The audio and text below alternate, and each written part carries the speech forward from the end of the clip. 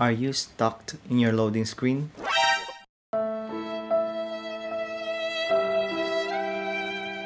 Don't worry, I got you. In this video, we are going to fix Axie loading screen.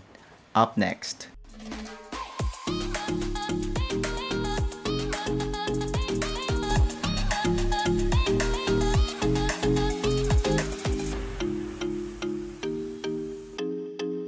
We will follow the official support page instruction. You can open the link in the description below. Click on Windows, File Explorer,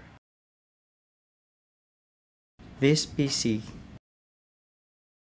Drive C, Users, and select your username. App Data. Select LocalLow. Sky Mavis, then delete.